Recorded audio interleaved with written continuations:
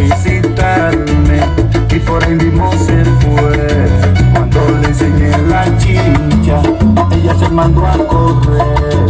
Yo solo le enseñé la chincha y ella se fue de una vez. Y a dónde pica la chincha, yo también le enseñé. ¿Y Cómo pica la chincha, a ella yo le demostré.